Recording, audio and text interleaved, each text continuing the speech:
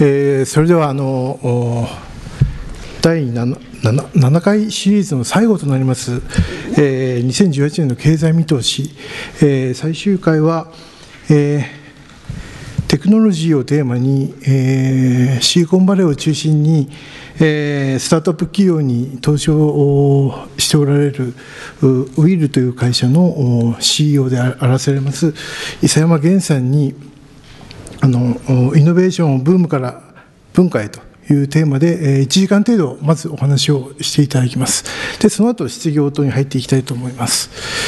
えー、それでは早速ですが、はい、プレゼンをお願いします。ありがとうございます。あの今日はまあイノベーションをテーマにということであのまあイノベーションというとよくあの話題に上がるのはシリコンバレー、まあ、シリコンバレーにいろんな世界中の企業とか人材が集まってそこで新しい技術をか、まあ、発明してそれが世の中に普及してまあ社会を便利にしていると、まあ、そういうふうなイメージをお持ちの方多いと思いますし実際えー、そういうふうな機能を、まあ、アメリカの中でも小さいシリコンバレーという街がですね、まあ、エリアがあのそういう役割を果たしていることはあの事実だと思っております。あの私自身は2001年からシリコンバレーに住んでおりまして、えー、ずっとベンチャーを育てたりですね新しい技術がどのように社会に影響を与えるのかと、まあ、そういったことを考えるために、まあ、ベンチャー企業に入って仕事をしたりですね。また今はベンチャーキャピタルといういわゆるベンチャーに投資したり支援したりというそういった業務をこの17年間やってきた立場になります。で、まあ、この先端技術とかイノベーションというのは今いろいろ話題になっているですね仮想通貨みたいなものもあればですね IoT とか自動走行の車みたいな、まあ、これから我々の生活に入ってくるだろうと思われるような技術もいろいろありますので、まあ、そういった、えまあ、イノベーションの、営みがどどういうふうにえ健全に社会に浸透すべきか、まあ、そういったことも今日は皆さんと一緒に考えることができればなと思ってます。で、また私の今のウィルという会社での仕事は、ここにタイトルにありますようにですね、このイノベーションに携わる人間として、まあ、これが一過性のブームではなくて、しっかりとした文化、日本の一つの文化になるような、そういった発展を支援することができればということで、活動しておりまして、特に日本の場合は海外と比べて一つ大きな特徴があるとするとですねやはり大企業に人物金という人材お金、まあ、リソースがですね非常に集中しているという傾向がございます。よってよく欧米であるようなこう若いベンチャー企業経営者を応援してですね産業の新陳代謝をえー、期待するというのは日本には若干合ってないんではないかということでいかに大企業を、えー、もうちょっと、えー、若返らせるかもしくは大企業にリスクを取るような仕組みを作るかということが非常に大きな課題だというふうに考えております。でまずあの初めの前半はですねあのそういった私がシリコンバレーで普段接しているベンチャー企業から感じられているこの技術がこのように今後どのように、まあ、特にビジネスの世界に影響を与えるのかというポイント。でその、えー、結局いろんな技術が浸透するにあたって、今後、生活している我々はどういうことに気に気にまあ、気を気にしながらですね、生活したりビジネスしたり教育のことを考えなきゃいけないかということをご説明した上で、えー、少しだけ私がやっている大企業との取り組みも、え、お話しさせていただきたいと思います。で、最後には、まあ、この技術っていうのはどういうふうにあるべきかといった議論もですね、ぜひこの後皆さんとできればいいなというふうに考えております。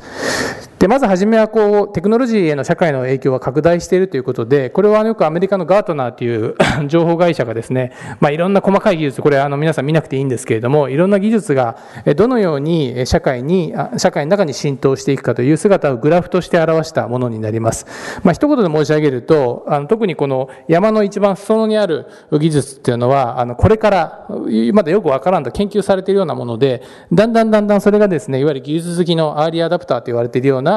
え人間の中で盛り上がってこの山のピークを一旦迎えるわけですね。ちょうどここの2017年のピークは、え今日本でもすごく流行っている connected home とかですねディープラーニング機械学習、え仮想アシスタント IoT プラットフォーム自律走行の車と、まあ、こういうものが今ピークにあるわけです。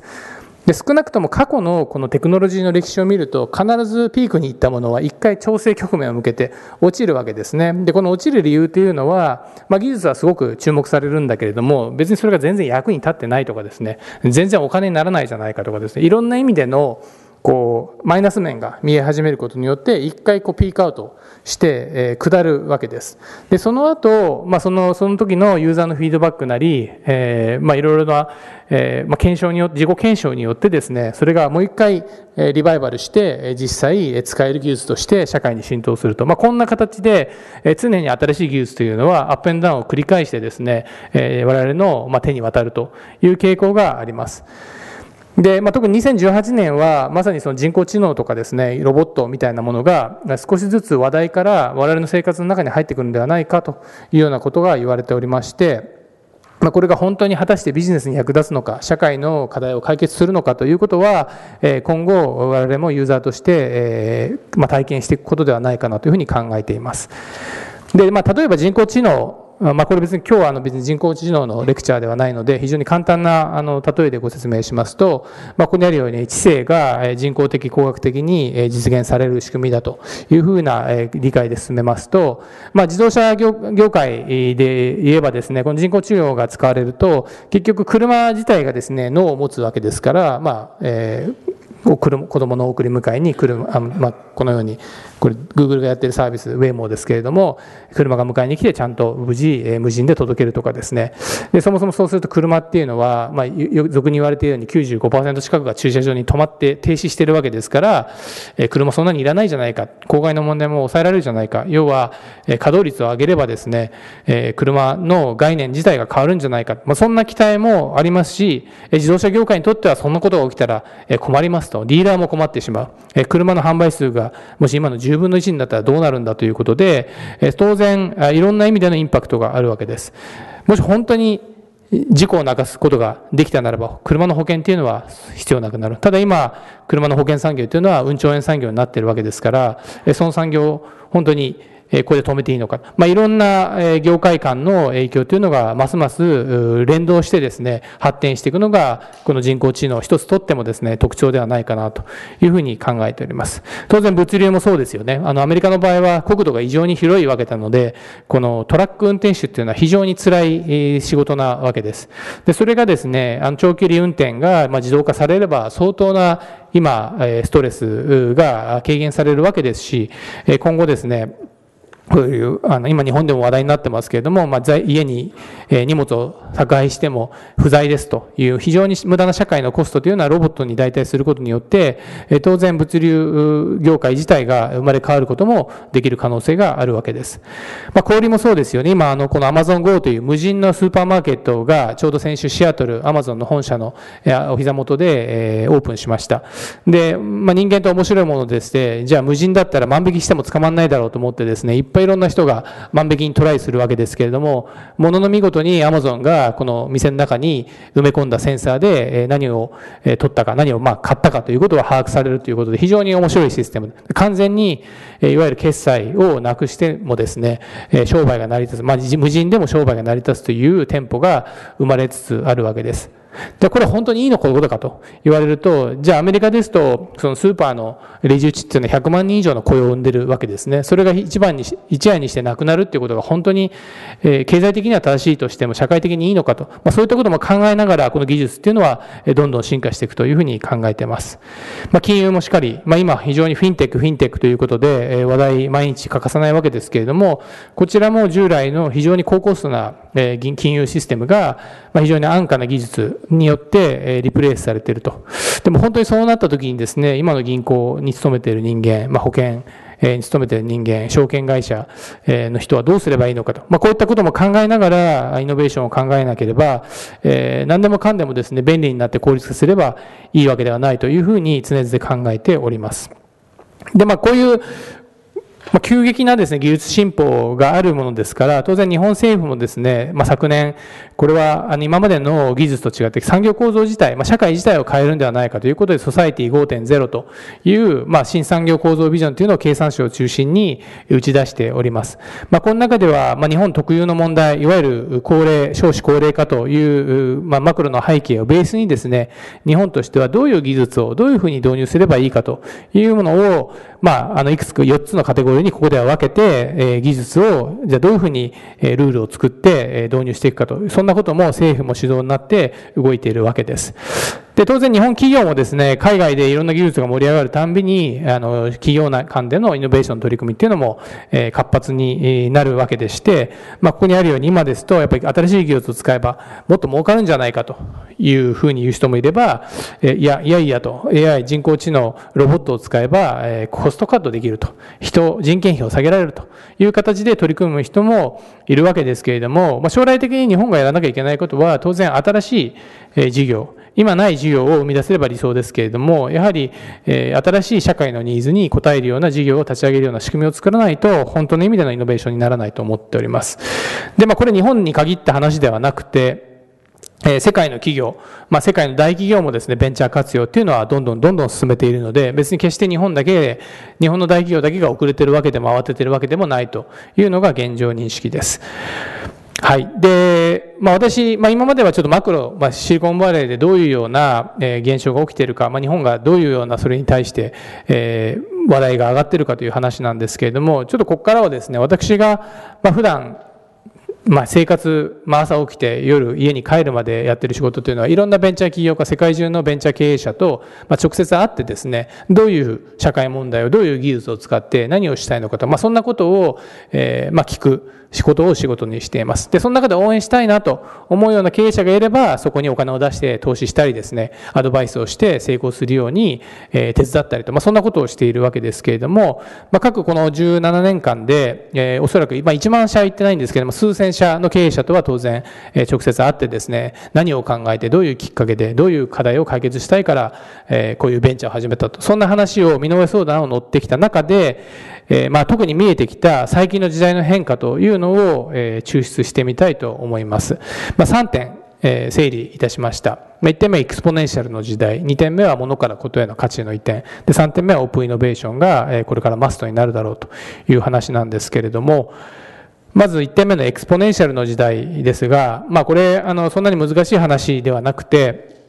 え、要はここのグラフに書いてあるように、まあインターネットがいわゆる普及したのが94年、1994年、95年ぐらいだとよく言われてますけれども、まあ、それから今20年経った、え今を after internet、まあ、94年、95年前を before internet と仮に定義するとですね、まあ、インターネットみたいなものが普及する前というのは、基本的に世の中の産業の多くは製造業中心、まあ、ハードウェアと下に書いてありますけれども、中心で、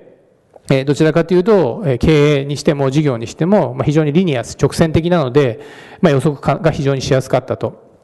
つまり営業計画を立てて、え真面目に働いていい人を雇って教育すると、え会社の業績は良くなりますよという非常にそのコントロールされた環境で伸びるビジネスが多かったわけです。まさに日本人、我々日本人が非常に得意としたまあ、時代のパラダイムでございまして、えー、この時にはですね、日本人の勤勉さと、まあ、効率性というのが非常にうまくワークしたわけですけれども、このインターネットというこのインフラがですね、普及した時に、今我々が見ているベンチャーというのは、この exponential、これちょっと後ほど事例を用いて説明しますけれども、この指数関数的な成長する会社という、組織というのがどんどん増えてきています。で、指数関数というのは、こうどこでこう、カーブして伸びるかっていうのは非常に予測しにくいということで、まあ、ここには VUCA という言葉を使ってますけれども、これはあのアメリカの軍隊でよく使われている言葉で、まあ、 volatility、uncertainty、complexity、ambiguity っていう、まあ、 volatility なんで変動性が高くて、まあ、 uncertain なんで不確定で、 complex、まあ、非常に難しくて、 ambiguity ということで曖昧な、まあ、非常に予想がしにくいものが増えたよねということなので、基本的にはそれをですね、中央計、まあ、中央集権的に計画して解決するというのは無理なので、おのずと分散、みんなでトライしてうまくいったものを採用するっていう経営に変わらざるを得ない。まあ、その時にはソフトウェアみたいなものが非常に大事な要素になるということです。じゃあその指数関数的 exponential なビジネスとかベンチャー事業って何なのかということを分かりやすいもので説明すると、まあ、この皆さんもおそらくご存知の Uber とか Airbnb のような会社はまさにその代表例だと思っております。まあ、ウーバーにしてもエアビンビーにしてもここに書いてあるように始まりは非常に身近な問題解決から始まったベンチャーです。まあ、ウーバーの場合はサンフランシスコにいるまあ若者が、え、まああまりお金持ってないわけですけれども、えー、この高級鳥がですね、証券会社の人とかコンサルタントが黒塗りのリムジンに乗って、まあ、えー、出張したりですね、移動しているのを見てですね、えー、僕もああいうかっこいい車に乗ってデート行けたらなという、まあ、非常にある意味不純な目的で、えー、あの、思いつくビジネスなんですけれども、彼らの問題意識は、もうこう黒塗りの運転手っていうのは、えー、ほとんど1日、えー、移動している時間短くて、えー、大体暇してですね、駐車場とかで昼寝してるわけですね。で、まあ、タクシーだったら常に人拾って動いてるんですけれども、特に黒塗りのこのリムジンの場合は全然働いてないと、暇してると。で、じゃあその暇してる時間を借りることことによって、お立ちにあげたら、お互いにとって一石二鳥じゃないかということで、始め始まって、まあ、それがですね、えー、どんどんどんどん拡大していくと、当然運転していて、後ろの席が空いてる人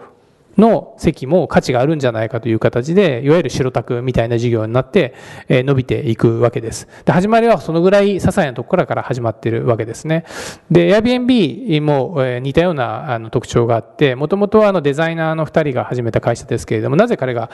IT の専門家でもないデザイナーが始めたかというと、このサンフランシスコでサンフランシスコデザインウィークという、まあ、カンファレンスが毎年大きな、集いがあって、まあ、その時に当然ホテルの価格が高騰してですね、そんなにお金持ちじゃないデザイナーの友達がみんな困っていると。泊まるとこがないぞということで困っていると。で、彼らは、じゃあサンフランシスコの自分の家の小さなリビングにあるソファーをじゃあ、遠路はるばるシカゴとかニューヨークから来るデザイナーに貸したら喜ばれるんじゃないかという形で、まあ、ウェブサイトを作るわけですね。で、まあ、たまたまそれを使って助かったよという形で、え、始まるわけです。もしかして他の人の空き部屋、空き、空いているソファー貸したら面白いことできるんじゃないか。で、当然この時点ではですね、まあ、皆さん想像の通り、Airbnb にわたっては全然知らない人を家に招き入れるなんて気持ち悪いじゃないか。え全然知らない人を自分の車に乗せるなんてお小遣いもらえても気持ち悪いじゃないか。そこでなんか事故が起きたらどうするんだと。まあこれが一番の懸念ですよね。で、通常これ大企業でこんなことやるって誰かが言ったらですね、そんなことできるかよと言われて、えー、ゲームオーバーになってしまうわけですけれども、この exponential 型の企業の特徴というのは、ユーザーがですね、非常にこれは面白いと。お金払ってでもこのサービスがなくなると困るというユーザーの数ではなくてですね、実際使っている少数のユーザーが喜んでいれば事業を継続しようという形で企業経営をするんですね。なので Uber も Airbnb も創業した直後というのは全然売り上げも立たなくてですね、どちらかというと友達に頼んでちょっと登録してくれよとかですね、使ってくれよという形でやるんですけども、一回使った人はこれ面白いぞと。えー、なぜならば彼らがそのえー、運転手に、まあ、ウーバーにしても運転手にしても乗る人にしてもお互いを評価するっていうシステムを入れることによって、まあ、不正が起きにくい、まあ、悪い経験がを封じ込めることができたわけですね。機嫌の悪いタクシー運転手に乗って運悪いなと思うことは皆さん多いと思うんですけれども、そういうリスクが完全になくなった。Airbnb にしても、非常にそのそこが悪い旅の人が来た人は、この人はもう次から Airbnb のサービス使えなくなるわけですね。なので借りる人も貸す人もですね、非常にフレンドリーにお互いいい思いできるように努力する、そういうシステムが、え、相互評価システムというものを導入することによって生まれたわけです。よって初めのすごく少ないユーザーはすごく喜ぶわけですね。で、それを喜んでるユーザーがですね、どんどんどんどん、まあその喜んでるユーザーのフィードバックをもらって、このサービスがどんどんどんどんブラッシュアップされた結果ですね、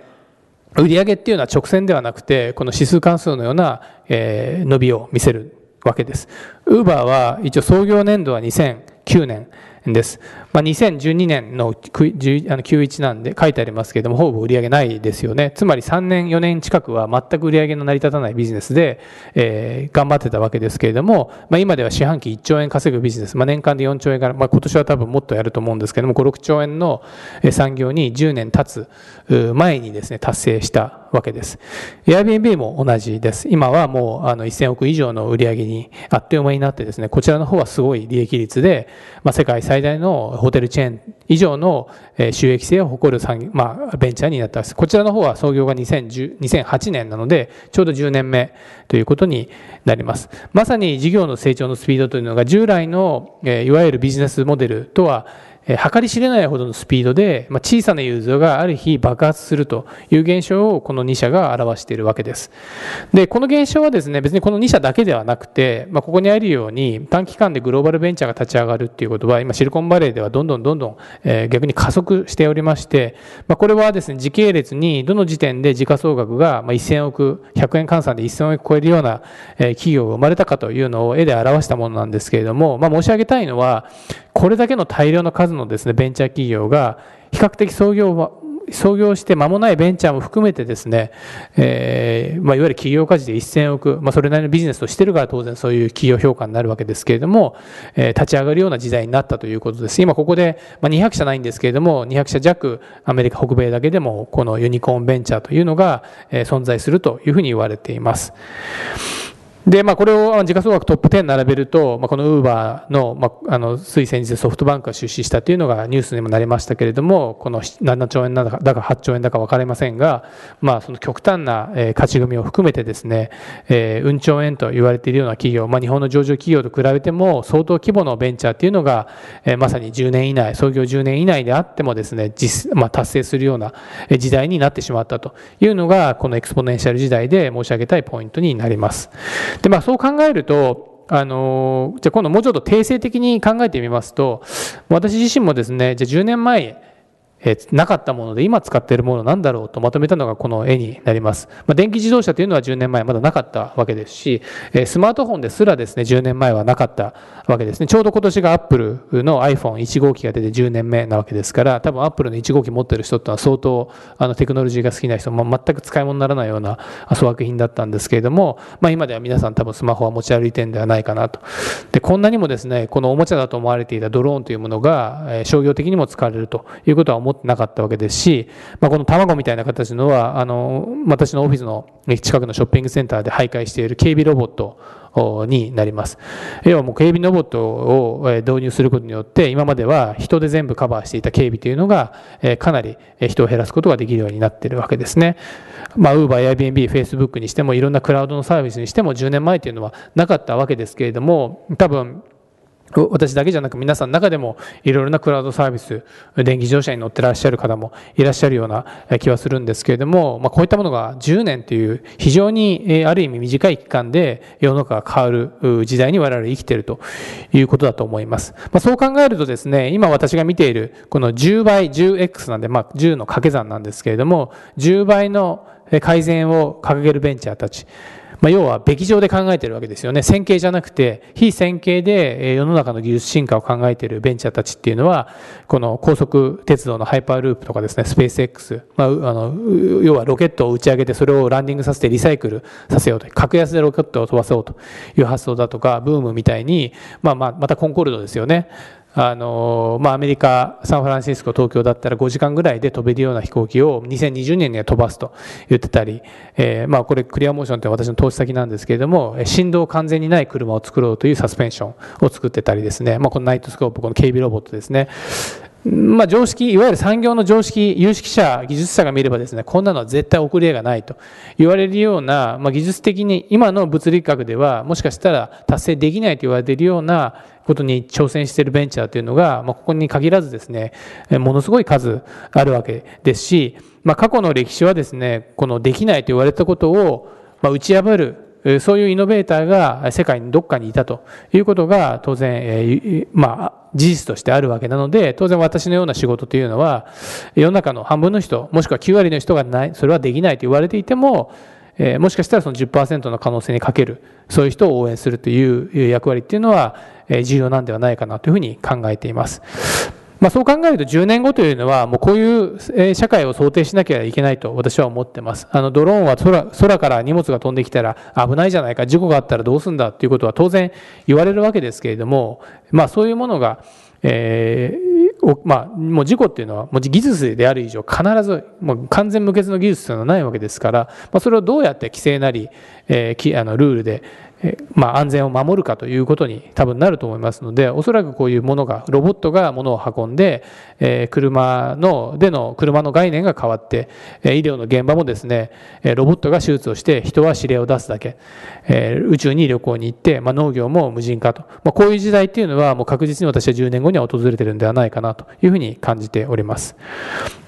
で、まあ、2点目、物からことへということで、こちらももう相当日本でも話題になっている、いわゆるシェアリングエコノミーというものが、あの、わかりやすい事例だと思うんですけれども、まあ、それを象徴するかのようにですね、世界の時価総額ランキングというのを10年前と、まあ、昨年比べると、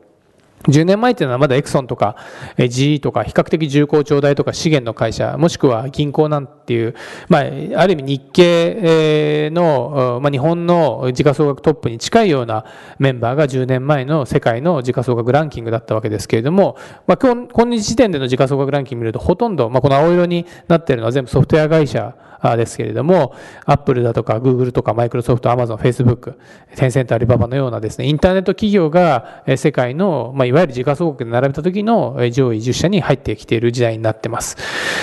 で、その特徴はですね、明らかにこの消費者に対して、まあ、ユーザー、消費者に対しての、えー、訴求する価値というのが変わっていると。つまり今までは、そのもの、デザインだったり、そのものの質感だったり、機能だったりということで、ものの価値が大きな価値として交換されてたわけですけれども、今ではそのことですね、そのものがもたらす効用が非常に大きいということで、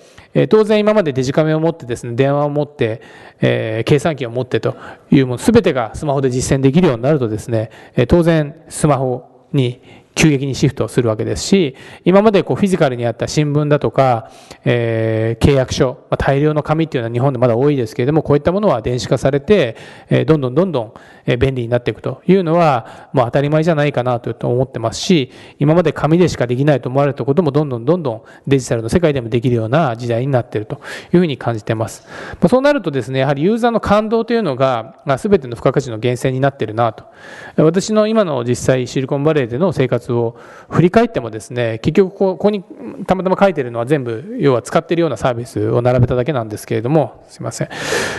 まあそれぞれとってもですねやってることは別にベーシックなことで、まあ、お金割り勘した時に簡単に友達に送金できるようなこのベンモって、まあ、アメリカの学生だったらみんな使ってますけれどもこのレモネードっていうのも飲み物ではなくてですねいわゆるあの火災保険ですね。あの物品保険と保険なんですけれどもま日本だと保険っていうとものすごく面倒くさい紙を書いて難しい、えーまあ、やり取りをして保険に入るっていうことなんですが、まあ、彼らの場合はあたかもこう携帯電話で、まあ、スマホでですね3分で、え、保険に入れると、まあ、そういうような仕組みを作っているわけですね。ななんでこういったものがすごいかというとやっぱりその使ってみるとなんて楽なんだ。なんてスムーズなんだ。なんて分かりやすいんだ。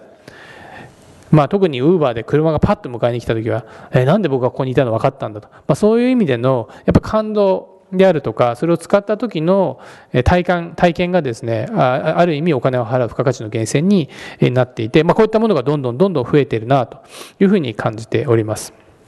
で当然事の時代を率いる経営者っていうのは技術が分からないといけませんからあのどんどんどんどん今欧米を見ると CEO トップの年齢っていうのは若返り40代30代という形でどんどん若返りをが進んでおります。はい、で3つ目がオープンイノベーションの活動が必須にということで、まあ、当然この1点目の exponential、世の中のスピードが劇的に上がるということと、まあ、技術の役割が、え非常に大きくなってきたということで、これ自分で全部やるというのがなかなか難しい時代になっているというふうに感じております。まあ、イノベーションの定義、そのまま教科書的に持ってくると、えここにあるように、えいろんな、え知と知を融合させる、まあ、新結合というよくあの教科書では書いてありますけれども、アイディアを作るというところと、まあ、それを実際社会にちゃんと実践することによって役に立つという、まあ、この2つの要素を達成するとイノベーション、イノベーティブなものでありサービスだということになるわけですけれども、日本、まあ、よく言われているように、日本の場合、この前者の融合はすごく得意なんですけれども、なかなか実践が難しいんですね。それを実践した時には必ず失敗という痛みを伴うので、えー、なかなかですね、やりにくいなと。ただ、アイディア出すのは大好きなのは実は日本人であって、えー、まあ、これをですね、もうちょっと実践を、えースピーディーにやるためには、じゃあ自前じゃなくてうまく外部も使ってリスクを分散させてやる、このいわゆるオープンイノベーションがこれから鍵になるだろうということが日本だけじゃなく世界的に一つのトレンドになっております。で、まあ、よくですね、ベンチャーとか、あの、すごい会社はって言われた時に出てくる、まあ、GAFA と言われている Google、Apple、Facebook、Amazon。で、まあ、Amazon ちょっとシアシアトルの会社なので、まあ、シリコンバレーに、えー、私の近所にある会社3社、えー、記載してますけれども、じゃあこういった企業がなぜその凄まじいほどの時価総額を維持してですね、あの新しい技術をどんどん提供するようなことができているのかということを少し冷静に因数分解して見てみますと、まあ、その実、今この瞬間の実態はですね、この会社3社、まあ、もしくはアマゾン入れてもですね、共通して入れるのは、ベンチャーを買収してそれを自社のサービスにするのが極めてうまい会社だと。いうことが浮かび上がります。つまりここ Google にここに書いてある Android、YouTube、まあ、広告のエンジン DoubleClick にアド AdSense AdWords にしてもですね、まあ、地図サービスにしてもこれ全て買収した会社の技術であって内製で作った技術ではない。ですね。えー、アップルも同じですね。アップルも当然 OS は一生懸命作ったんですけど、そもそもはスティーブ・ジョブズが追い出された時に作った会社 NeXT の、えー、ソフトウェアがベースになってるわけですし、まあ、iPhone の中にあるこの指紋認証とか音声認識みたいな技術も、これ全て外部の技術を、まあ、ベンチャーを買収して、アップルの製品の中にインテグレートしたものですから、まあ、こういった会社ですらですね、実は内製の R&D も結構使ってるんですけれども、え、外部ベンチャーの力を借りて、それをうまく自分自社の技術の中に取り組むのがうまいというのが一つの特徴になります。なので、まあ、よく日本の企業、なんとか自分で頑張ろうっていう、まだ力が強いんですけれども、やはり先端企業ですらですね、そういった外部、オープン、イノベーションを使わざるを得ない時代になっているということを申し上げたかったわけです。で、まあ、このトレンドがですね、ちょうど2年前ぐらいまで、2016年ぐらいまでは IT 企業同士の合唱連行っていうのがほとんどだったわけですけれども、2016年、2年前ほど前からですね、製造業とか、まあ、初め始まったのは車ですね、あとは消費財の会社とかですね、いわゆるインターネット企業とトラディショナルな産業の合唱連行っていうのがここに来て急激に進んでおります。まあ、非常に日本でも話題になったのはアマゾンっていう、まあ、デジタルデジタルでやってた会社がホールフーズというスーパーマーケット、高級スーパーマーケットチェーンを買収したということで、えー、今まで、えデジタルの会社がデジタルがいかに、え、まあ、効率的で良いかといった会社がいよいよこう非デジタルのものにも寄ってきたわけですし、特に非デジタルの会社で、え効率性で負けてた会社はもうデジタル企業を買収してですね、えうまくお互いの強みを使おうという戦略に、えどんどんどんどん急速に変わっているわけです。はい。で、なんでそもそもこの、こういったイノベーションとかですね、あのベンチャー支援というのが大事かということをあの簡単に述べたいんですけれども、まあ、よくこう私が、えー、この exponential な時代になってもう新しいことを生まないと、えー、日本もまずいぞ、えー、みんなこれからビジネスマンとして困るぞっていう話をするとなんでそんなに焦らなきゃいけないんだなんでそんなことを手掛けなきゃいけないんだっていうまあ当然冷めた質問も中にする人はいるんですけれどもまあ、アメリカの経済の状況を、えー、考えるとですね、まあ、ベンチャーキャ、まあ、ベンチャーキャピタルという産業が当然ベンチャーに投資をするような産業がありまして、まあ、そこで、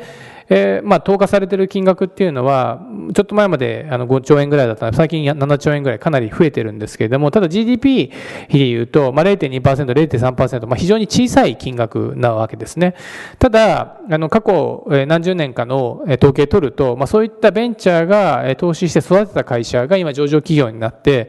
GDP の計算の、まあ、あの、足し算の一つに入ってるわけですけれども、GDP 換算20%以上の価値を出していると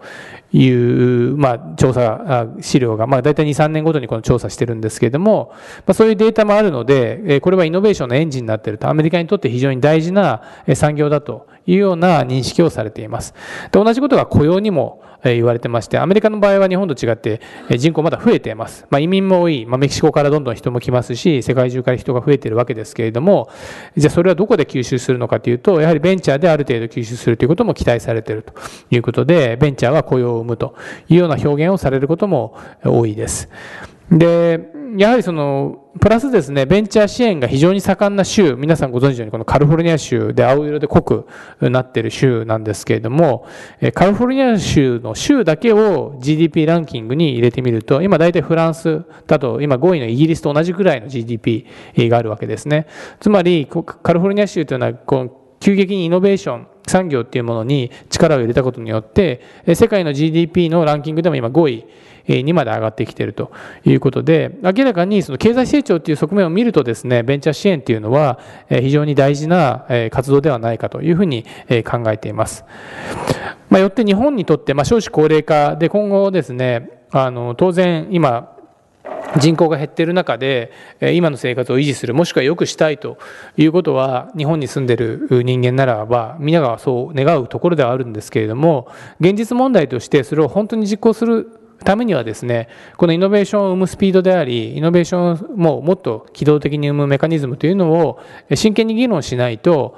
えーまあ、日本の未来っていうのはなかなか、大変だなというふうに思うわけですし、特にこれからままさに今若い子どもたちが日本に生まれて育ってですねワクワクするような社会を作るためにはやはり今までとやり方を変えないとどんどんどんどん自利品な状態が続いてしまうということは懸念しております。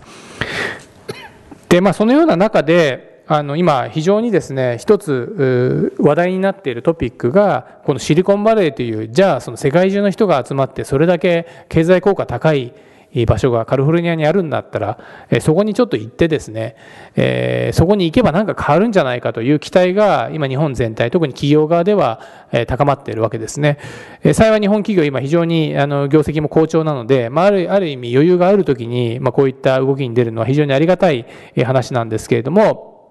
当然皆さんご存知のように過去日本は70年代、80年代、90年代にもシリコンバレーに進出して、実はそれほどいい思いもしてないし、いろんな失敗をしているわけです。で、私自身もですね、あの、2001年からであっても、いろんな日本企業が危機で一回全部引いたのも見てますので、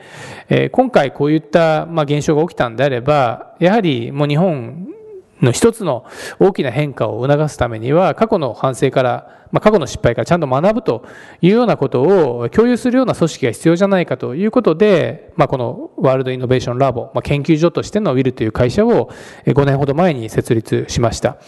で、じゃあ何をやってるかということなんですけれども、まあ、すごくイメージしやすいのはこの出島ですね。あの、要は日本が鎖国していて、なかなかこう、外に出ていかないときに、まあ、この長崎の出島に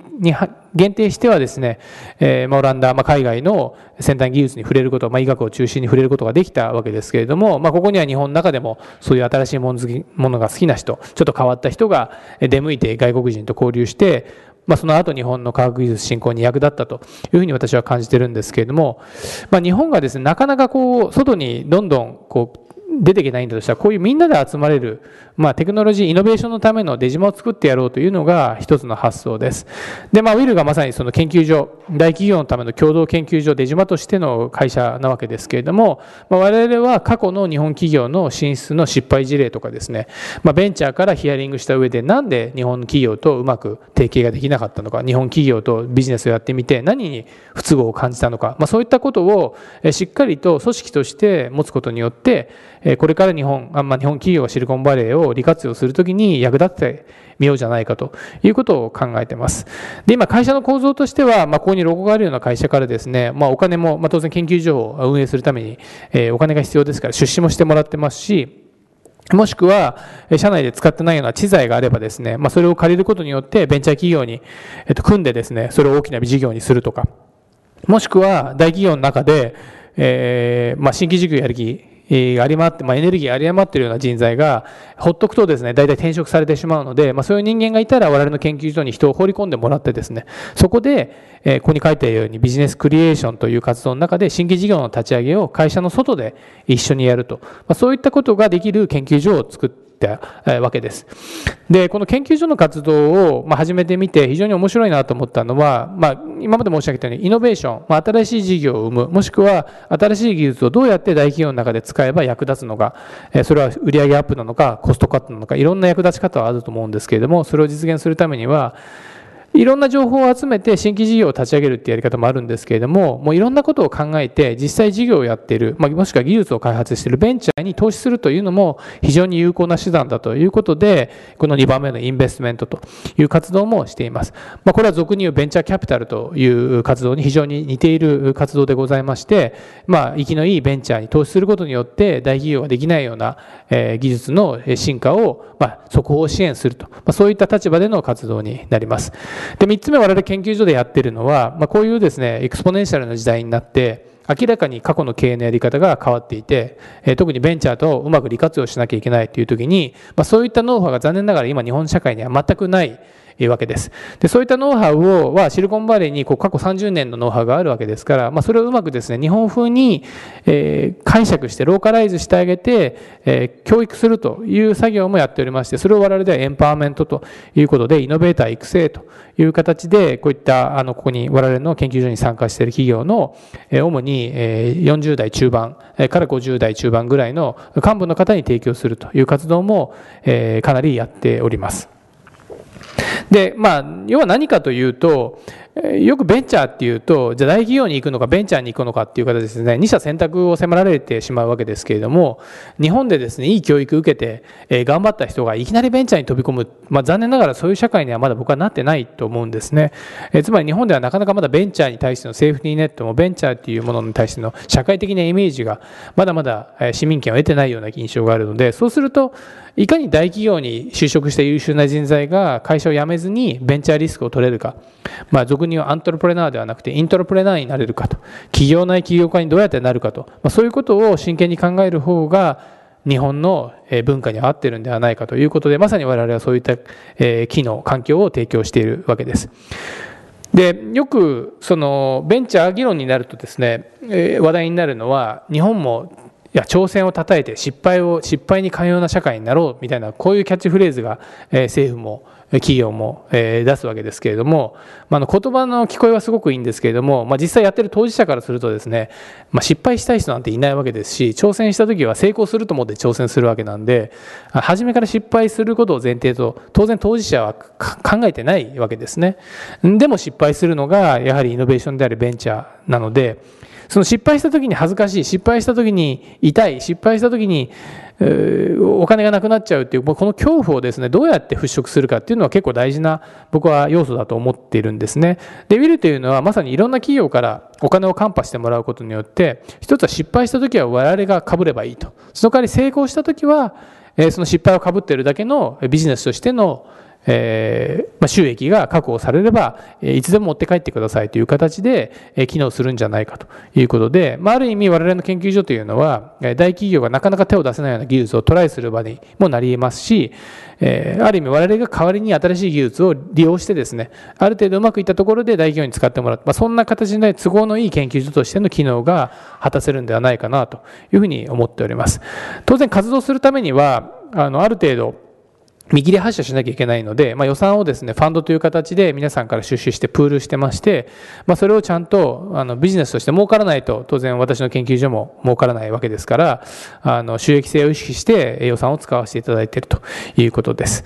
ただ、いわゆる大企業で新規事業をやるときのように、いろんな有識者を集めてコンサルを入れて、えー、議論し尽くして事業をやるわけではなくて、なるべく早くスタートして、で、え、なるべく、ま、失敗したらそこから早く学ぶということで、まあ、スタートファースト、フェイルファーストというか、ランファーストですね。といったプロセスを非常に大事にしているのが我々の研究所になります。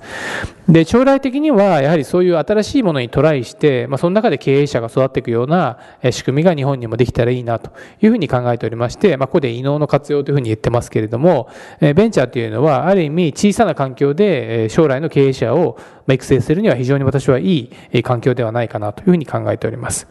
まあ、今、あの我々のこういったあの意思にですね賛同してくれた企業、まあ、日本の企業を代表する企業がこれだけこういったものに興味を持っていただけるということ自体ですね日本の今の置かれている状況をえ表してるんではないかなと思う時もありますし、えまあ、非常にコンサバに思えるような企業はですねこんなちょっと危なっかしい新しいことにトライしてみようトライして失敗もいっぱいするけれどもちゃんと預かったお金は面白いビジネスに投資しますという我々のこの志に賛同していただいているっていうのはある意味、脅威、まあ日本ってすごいなと、まだまだ力があるんだなということでもありますし、え方や、まあ、それだけ焦ってるんだなと、危機感それだけもう高まってるんだなという表れだと思ってますので、そういう意味では私が今やってる活動っていうのは非常に大事な活動だというふうに思って、え取り組んでおります。で大企業のリソースを元に立ち上がったベンチャー、どういうのがあるのかという、まあ、これ事例がないと全く説得力がないので、まあ、いくつか我々が過去にあった事例をここに出しております。あの、まあ、ちょっと絵として面白いものだけここに入れてるんですけれども、まあ、インキュベーション型というのは、まあ、我々がですね、いろんな調査をして、こういう事業が受けるんじゃないか、一緒にやりましょうという形で事業計画を提案して、我々の研究所にいる企業と一緒に、ジョイントベンチャーという形で展開した事業になります。キュリオというのは、えーあの一つの技術としてはスマートフォーム、IoT を使った何か事業できないかということで、スマートフォーム、家の中を、電子化する。家の中を便利にするというプロジェクトで始めた会社です。まあ、この初めのプロダクトは鍵をですね、電子化することによって、まあ、もう鍵を持ち歩かなくてよくすると。まあ、そうすると、携帯電話を持ってればそれが鍵になるわけですけれども、友達に貸したりですね、え、今日だけ使える鍵を発行したり、一回開けたら閉めたらもう使えなく鍵、まあ、例えば宅配の人が来た時に、その場で鍵を電子的にえー、LINE で送って家の鍵を開けてもらって入れたら執行すると。まあ、いろんな便利なデジタルな鍵を作れば、えー、家というものの、えー、非常にがより便利になるんじゃないかという企画を書いてソニーと一緒に作った、会社になります。で、こういうのもですね、あの、やはりソニーの技術者がいるから当然成り立つ我々の活動なんですけれども、よく言われるのは、なんでこういうのをソニーとか、まあ我々みずほとかですね、あの、NTT とやったプロジェクトもここに書いてありますけれども、なんで大企業それ自分でやんないんだよというふうな素朴な疑問があるわけですが、これはですね、ま先ほど申しましたように IoT、とかですね、このソラコムっていうのも、これもソラコムも IoT の会社なんですけども、IoT、IoT って技術がまさに盛り上がってる時には、それが本当に儲かるのか、世の中に便利になるのかっていうのは実際出してみないと分かんない要素が多いんですね。で大企業っていうのはそれを出して分かりませんでは残念ながら倫理が通らない。営業計画書いてこれぐらい儲かります。こういう利便性があるんですっていうことが論理的に役員会議で説明できないと当然通らないわけですからこういったものっていうのは皆さん概念的に面白いやりたいと言っても実際企業のえ今のシステムだとなかなか通らないわけですね。だからこそ我々のように見切り発車できる研究所がいると非常に便利だと。とりあえずやってくださいと。で、技術的な支援はいくらでもすると。ただ、経営の、主導権はウィルの人間が握ってですね、ある程度事業化するっていうことを進めて、大体1年か2年遅れで、えこれ我々もやりたいので、え買い取らせてくれという形で戻ってくるのが、え今までやってきた事例のパターンになります。あの、ソラコムという会社も面白くて、我々の出資協定 NTT さんの研究所であった技術をですね、非常に、あの、それを、まあ、切り出して、外で育てて、で、それが、あの、他の通信キャリア、KDDI という会社に買収されるんですけれども、えー、まあ、ある特定企業の中で育てられた技術。で、ただ、類似の技術があったので、この場合は切り出していいよという形で、外にベンチャーとして切り出されたわけですけれども、それが、まあ、違う企業のえこういう技術実は欲しかったと。うち弱いんだよねという形でそこを埋める方、保管する形で、えそのベンチャープロジェクトが有効活用されたと。まあ、こういう事例が今後ですね、このカーブアウトという形で私はどんどん増えると思ってまして、今までですと同業他社にうち我が社の技術が渡るなんてけしからんっていう時代があったわけですけれども、今やですね、それぞれの企業が持っていて使わない特許、使わないような製品、サービスがあればですね、そういうものをどんどんどんどん欲しい人、使いたい人に、まあ、ライセンシングするなり、こういうふうに買収という形で、えー、もう有効活用するってことをしなければ、まあ、日本は私は正直、なかなか世界とは戦っていけないだろうというふうに思ってます。まあ、共有型っていうのも、こう、ベンチャーとみずほ銀行、我々みたいなのが一緒になって、新しい新製品を作る。これも、ぱり銀行自ら新しいフィンテックの技術、サービスを展開するというのは非常にハードルが高いです。それはあの、今あるフィンテックというのは、まあ今話題の仮想通貨も含めて、規制もルールもまあ、ある意味、わからないわけですね。作りようがない。わからないものが多すぎて、どういうふうにすればいいかわからないということで、ある程度、実証実験があって、小さな事故とかですね、小さないろんな不便を聞きながら、規制だったりルールがちょっとずつできていくもんですから、そういうものはなかなか社会的な大きな会社っていうのは取り組みにくい。まあ、そういったものをベンチャーであり、だったり、我々のようなリスクを取っても、まあ、取るためにあるような組織がうまく取ってあげてですね、リスクがある程度抑えられた状態になって大企業がそれをグロースさせると。まあ、そういう外との連携というのはもっともっと日本の中に私はあってもいいんじゃないかなというふうに考えてます。で、あと先ほどそのベンチャー投資の利用ということを申し上げたんですけれども、例えばですね、あの我々の場合、まあ、ウィルという会社で、いろんなベンチャーに合ってるというお話をしました。で、ちょうどその5、6年前、いろんな私のベンチャーに会うと、その来るベンチャー、来るベンチャー、世の中要するにこれは無駄が多すぎると。えー、エコの問題もある。無駄遣いの問題もある。大量消費の問題がある。もうアメリカけしからんということで、シリコンバレーにいるアメリカ人がですね、アメリカけしからんって言って、私のところにビジネスプランを持ってくるわけですね。えー、みんな物を買いすぎだと。物を持ちすぎだと。で、もっとシェアリング、人が使ってないものがあって、それを横で借りたい人がいれば、その人が買うのを待つんじゃなくて、貸してあげればいいじゃないかという形で入り始めたのが、いわゆるエコ、エコブームを背景にブームになったのがこのシェアリングエコノミーなわけですけれども、これ、物を売ってる日本の企業からすると非常に取り掛かりにくいビジネスモデルなわけですね。で、初めこれ流行った時は、うん、シェアリングっていうのは頭ではわかるけれども、そんなの儲かるのかよというのが大概の人の反応だったわけです。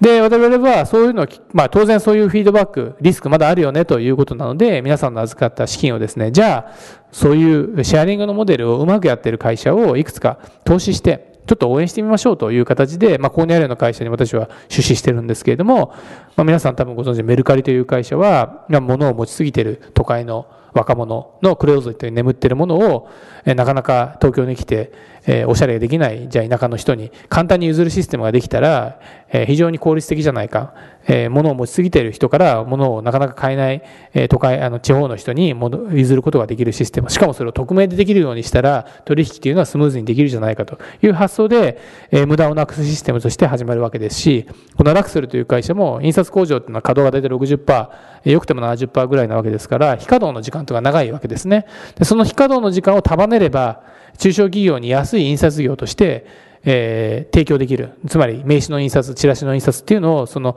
空いている隙間時間だけ、まあ、借りることによって、えー、安く印刷を提供できる。まあ、そういった発想で始まるビジネスっていうのは、いくらでも考えによっちゃできるわけですね。まあ、まさに使ってない不動産を貸す民泊もありますし、えー、皆さんの奥様が持って使ってないブランドバッグを家のクローゼットにいてカビが生えるよりはですね、空調と顔のエキスパート、心眼鑑定士がいる倉庫に預けておいて、誰かが借りて、時にお小遣いが入って、自分が使いたい時には新品のように綺麗になって帰ってくる。そういうシステムを作ったら、みんなが喜ぶわけですよね。言われてみれば当たり前じゃないかなんですけれども、そういう発想で実はなかなか世の中は回ってない。なぜならば日本人というのは物を売ることに慣れすぎているからということです。ま、その会社は暇してるお医者さんをすぐ呼び出せたら、慌ててみんなで近所の大学病院に行列するっていうこともなくなるわけで、こういった発想というのはですね、やはり海外、まあ、日本も含めてですね、いろんなところから出てきていて、なかなか大企業の新規事業としては難しいので、我々としては、投資してこういったベンチャーを育てることで、お互いをつなぐということをしています。ま、セキュリティなんかもそうですね、IoT、ビッグデータ、あの今はあの話題になっている技術でいうと、あとは自動走行の車みたいな、確かに便利ですし、自動走行の車が増えたら事故がなくなるじゃないか、IoT が普及したら世の中が効率的になるじゃないかと、まあ、非常にワクワクする話が今、我々の中にでは盛り上がるわけですけれども、私からするとですね、IoT、ビッグデータ、自動走行の車なんか普及すればするほど、とてつもない大きなリスクが今後発生するんじゃないかっていう恐怖を感じるわけですね。それはまあやはりそういう技術をある意味間近に身近に見てるからではあるんですけれども、ただもうこの技術進化の波というのは止められないわけですから、やはりそうなるとセキュリティに対しての概念とか、まあ、どうやって事故が起きた時にそれをカバーするのかと、まあ、そういったことを考えなきゃいけない。ただこのセキュリティっていうのもですね、非常に難しくて、えー、事故損害が起きない限りは活躍しないわけですから、なかなかワクワクしないわけですね。で、日本のっていうのは非常にセキュリティに関しては鈍感、まあ、日本があまりにも安全で、えー、安心できる国なんで、えー、これちょっとピンクと来ないんですけれども、まあ、アメリカの企業っていうのはしょっちゅう、え、ハッキングされてるので、まあ、セキュリティに対しての、当然感度は高いいということで、まあ、そういった技術を我々の方でちゃんと把握して、日本に、企業に、今世の中っていうのはこうなってるんですよということを、ベンチャーを通じて発信するというのも大きな研究所の役割ではないかな。まあ、一つのシリコンバレーの利用の仕方ではないかなというふうに考えています。まあ、以上まとめますと、まあ、そのシリコンバレー、出島っていうのは、まあ、世界中から変わった人が集まる知の探索の方向なわけででして、その先ほどのイノベーションの定義に戻ってもですね、ここにある地とこのここにある地、まあ、のいろんな飛び地にある地を組み合わせることによってイノベーションが基本的に生まれているわけですから、まあ、変人、基人が世界中から集まっているシリコンバレーっていうのは非常にそれがやりやすいわけですね。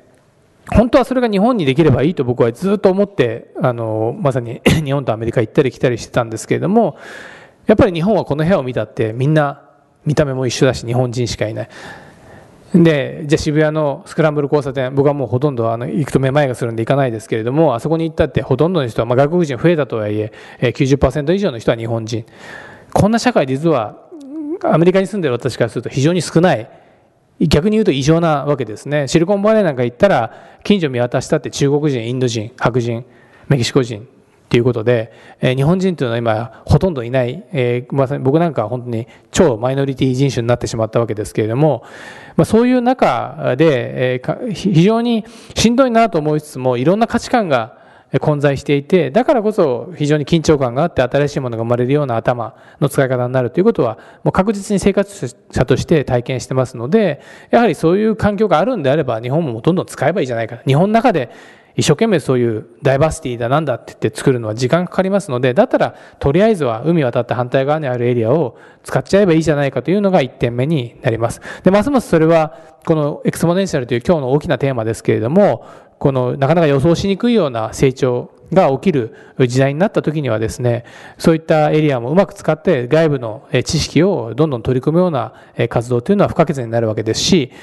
特にそういった時に一番の汗かせになる本社のルール、日本の大企業のブランド、過去のレガシー、しがらみ、まあ、そういったものをですね、突破するには、やはり外にそういう違い保険を作る、出島を作るというのが、私は一つ現実的なソリューションじゃないかなというふうに考えてます。まあ、そこでいろんな人がこう融合してですね、新しいものを実践してくれればいいなと思いますし、まあ、最後の5点目というのはこれ別にジョークではなくてですね、やはりイノベーションの取り組みだとかベンチャーっていうのは、えー、要は9割以上は失敗するわけです。まあ、失敗というのは言葉で言うと簡単なんですけれども、私自身もいろんな失敗経験した身からすると失敗した時っていうのはまあ本当に辛いわけですよね。もう、えー、本当にいろんな人に迷惑かけたり自分自身ダメだなと思ったり、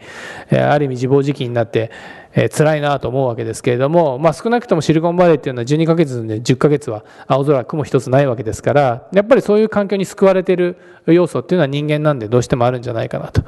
えー、で、自然もすごく溢れてるわけですね。海があって、自然があって、上を見れば青空になってると。やはりそういう環境で、そういうしんどい作業にトライするっていうのは人間である以上は僕は不可欠じゃないかなと思っていて、まあ、まあ、そういった要素を見てもですね、あの日本企業が全て自分でやるんではなくて、海の反対にわたっていろんなことにトライするっていうようなことももっともっと増えてもいいんではないかなというふうに個人的には思ってます。で、ちょっと最後、もうこれ短いんですけれども、まあ、今日そのイノベーションというテーマで、まあ、いかに技術が我々の社会を変えて、あの我々自身まあ、皆さん含めて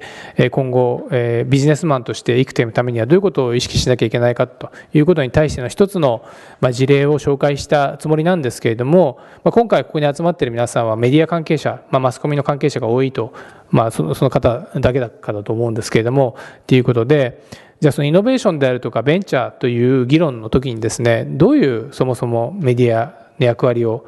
まあ、私としては期待しているかもしくは皆さんは、え、どういう役割を意識されているのかということについて、まあ、この後 Q&A もあると思うので、えー、その一つの、まあ、最後の、えーまあ、プレゼントして、えー、問題提起したいんですけれども私の中でこう我々が見たい未来ってのはどういう未来なのかという点に尽きると思ってます。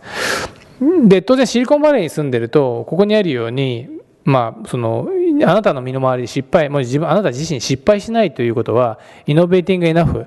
まあ、イノベーションしてないということだっていうことをイーロン・ムスクみたいな人がしょっちゅう、まあ、スタンフォード大学に来ちゃ講演して、えー、言うわけですね。このフェイリング、まあ、失敗っていうのは、まあ、非常に嫌な言葉でもあり、なんとなくこう、最近だと失敗から学ぼうっていうと、なんかあたかもすごくポジティブな印象もあるんですけれども、なんか失敗っていうのは僕すごく奥深いなと思っていて、その自分の確かに周りで失敗が起きてないっていうことは、えー、私自身よくこの社員に向けても家族に向けても最近何失敗したっていう話題をなるべく振るようにしてるんですけどもその時に答えが出ない人っていうのは要は今自分ができること以上のことをやってないということのある意味裏付けになっているので要は自分の全くスキルを使い切ってないと。成長してないということの証だと思ってます。失敗する人が多い人っていうのは常に自分ができない自分の今の能力ではできないことにトライしている人であって、えー、常に失敗で必ず学んでる以上その人はどんどん進化しているわけです。で翻って我々の場合は大学受験ぐらいまでいっぱい失敗してですね必死になって上を目指してやるわけですけれども社会人になった瞬間に失敗するとプロモーション上に上がれなくなってしまうんで今度ディフェンスモードに入るわけですね。もうサラリーマン生活20年とか経ってしまうと、もうディフェンスしてどうやって役員になるかということが、えー、ある意味人生の大事な重大事項になるわけです。でも私からすると、人生は私自身今あの今年45なんで、まあ、ちょある意味就職して20年ちょっとなわけですけれどもその40代中盤、50代中盤が本当にディフェンスした時にどうなるのかということを考えると、要するに20年間いろんな修羅場、まあ、ある意味、いろんな社会の経験をして、社会の問題も分かっていて、自分の組織のいいところ、悪いところも分かっている人間が、まさにこの挑戦、ベンチャーにトライしない社会になったら、多分日本は滅亡すると思っていて、アメリカ実際見てみると、45歳以上、55歳以上、つまり45歳以上の人だけでのファーストタイムアントレプレナーなんで初めてベンチャーにトライする人っていうのは社会の50%ぐらいいるわけですね。私が普段会ってるベンチャー企業家っていうのはほとんどの人が中年の人ばっかりです。ベンチャー企業とかイノベーションっていうと大体若い人でですね大学行ってないような人ばっかりをこう想起するわけですけれども現場を見てる私からするとベンチャー経営者で特に私があこの人素晴らしいなこういう人たちを応援したいなと思うようなベンチャー企業っていうのは少なくとも私の短い15年のこのベンチャーの経験で見るとですね40代以上が圧倒的に多いのであのベンチャーというのは本来的にはやはり技を持って世界観を持って自分のやりたいこと自分の得意なことが分かった人がやるべきものであるのにもかかわらずなんとなく日本ではベンチャーっていうのは若者の特権若い人が頑張ればいいやと中年の人はディフェンスディフェンスでなるべく長生きしようと、まあ、こういう非常に消極的な話題になっているのは私は残念だなというふうに感じております。で、もう一つはやはりこの常識ですよね。その自分は車の上にいたから車しかできないとかですね、自分は学校の先生だったから学校の先生以外のことはできないっていうことが日本だとどうしても思ってしまうわけですけれども、テスラの創業者のこの2人にしても、まずジャック・マーさんにしては英語の先生ですし、テスラの創業者2人はソフトウェアのエンジニアで車関係ないわけですし、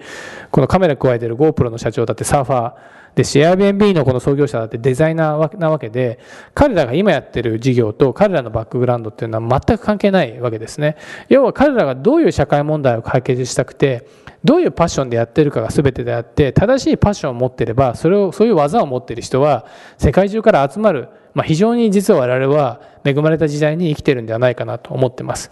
そういう意味では、誰かが何かにトライしたい、えちょっと年取った人が、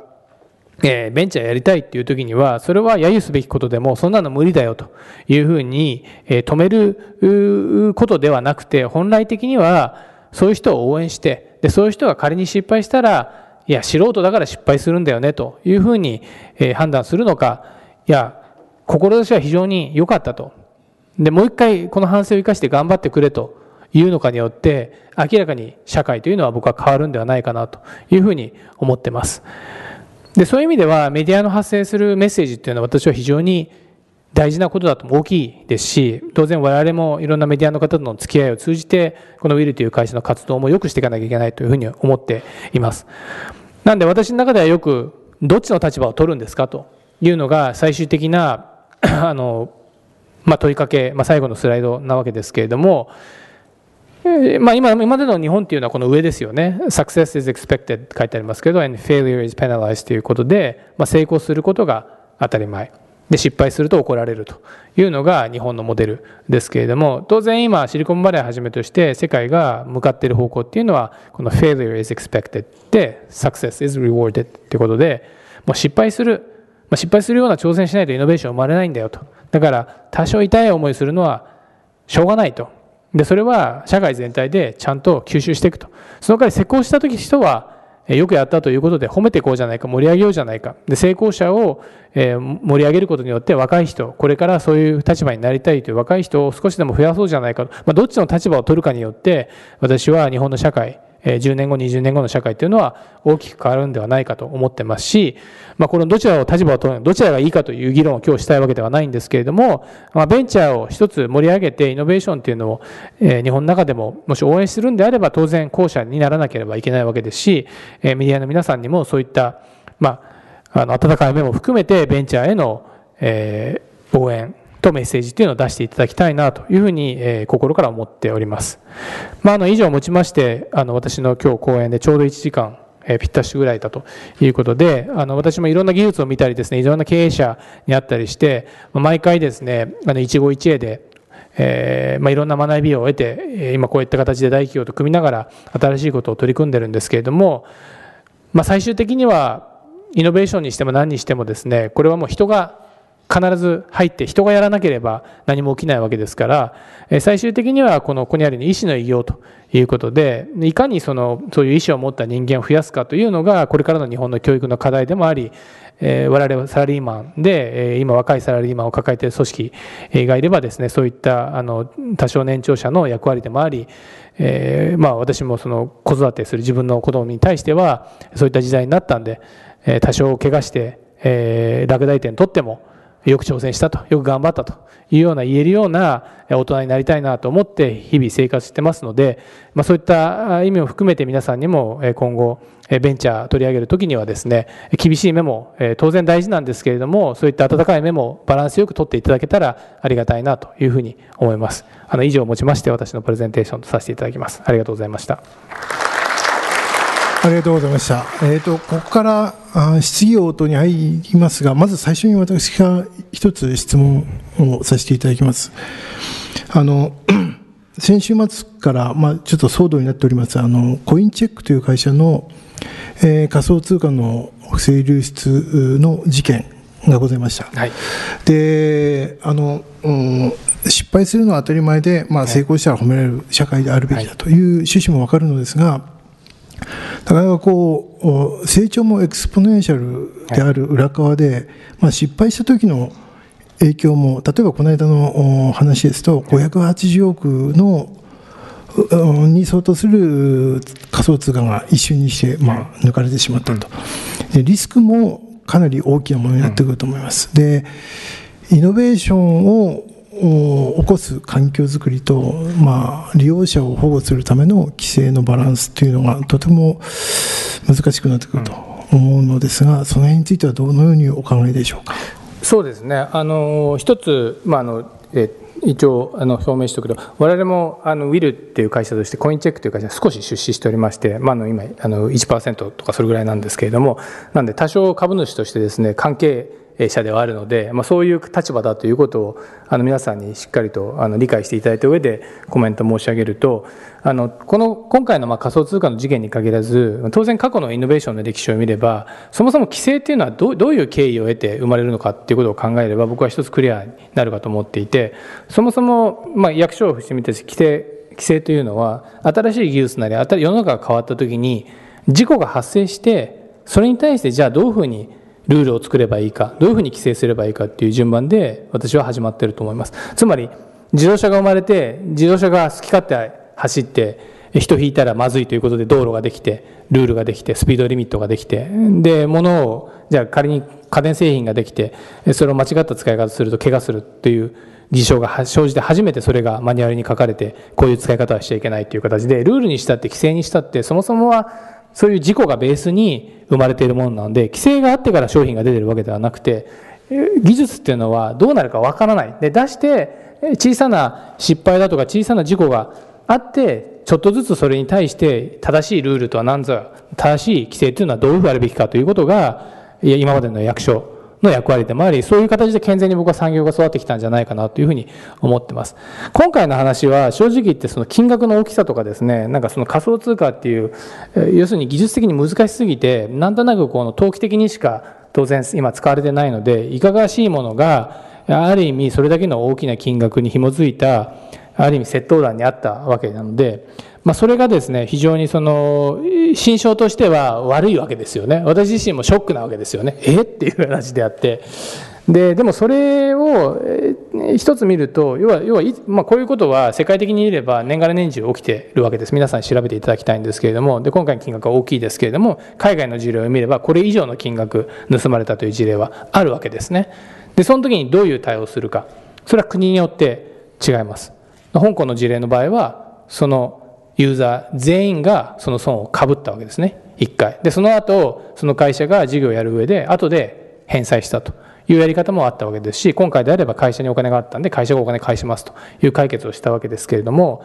やっぱりこう、いろんな今後、仮想通貨だけじゃなくて、僕は IoT でも自動倉庫のクラウドでも必ず大きな、我々が今想定してないような事故とかですね、起きると思うんですね。その時に、当然事故は起きちゃいけない。なんで最善を尽くさなきゃいけないとは思うんですけれども、起きた後は当然それが今後の規制だとかルールに反映されていかなきゃいけないわけですし、そういった大きな代償を払った組織としては、この会社は社会にちゃんと貢献していかないとですね、全く意味がないわけですから、まあ、私も超マイナー株主としてはですね、